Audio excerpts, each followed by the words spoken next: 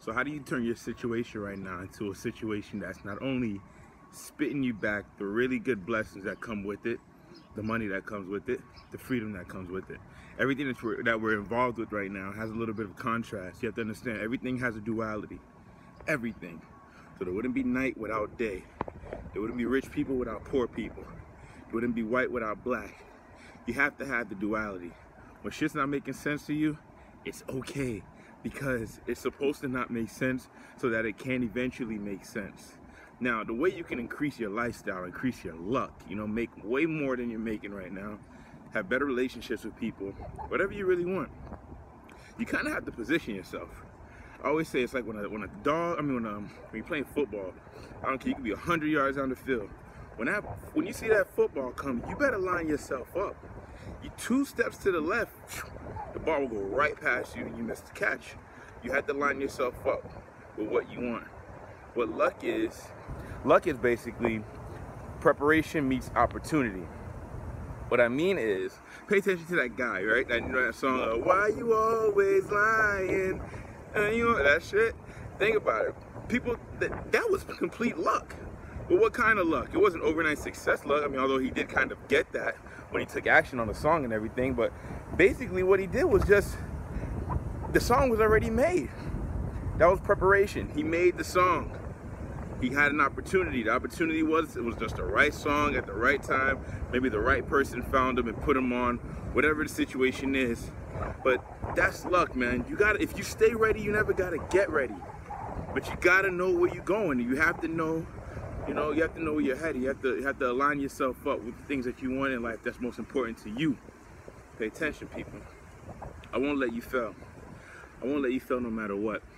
I'm gonna teach you how to go the extra mile. We have to go the extra mile. The only thing, the only people that get on in this world are people that go the extra mile. It's the only way you're gonna get, you know, the better things in life. There's a lot of noise. Life can be really noisy. It can be cluttered with a lot of bull. So your goal is to go the extra mile. Because if you do what everyone else is doing, if you go as far as everyone else is going, you're only gonna get what you've gotten. You're only gonna get what everyone else has gotten. And if you pay attention, most people aren't really too happy. Only the action takers, only the goal getters, only the risk takers are the ones that really live the fulfilling lifestyle because they're shaping their reality.